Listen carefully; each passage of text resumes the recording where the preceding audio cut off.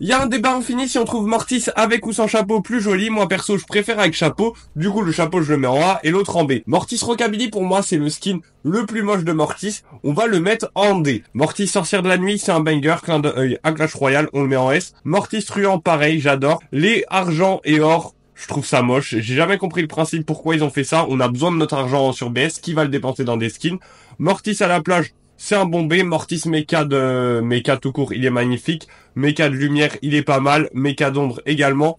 Et Mortis, je sais même pas c'est quoi son nom. Bof. Dis-moi ce que tu penses de ma playlist et n'hésite pas à t'abonner.